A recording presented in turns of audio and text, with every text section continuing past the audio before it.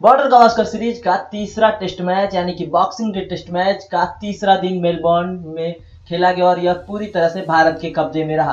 भारत ने तीसरे मैच में पहले बल्लेबाजी करते हुए सात विकेट के नुकसान पर चार सौ तैंतालीस रन बनाए थे, जिसके बाद विराट कोहली ने पारी घोषित करने का फैसला किया और बाद में बल्लेबाजी करने आई ऑस्ट्रेलिया की टीम, एक सौ इक्यावन रनों पर ही ढेर हो गई और बुमराह ने यहाँ पे शानदार गेंदबाजी करते हुए छह विकेट निकाले।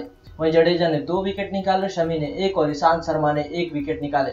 ऑस्ट्रेलिया की टीम यहाँ पे पूरी तरह से धाराशाही देखी कोई भी बल्लेबाज तीस का भी आंकड़ा नहीं छू सका। सबसे अधिक रन 22 रन बनाने वाले बल्लेबाज रहे।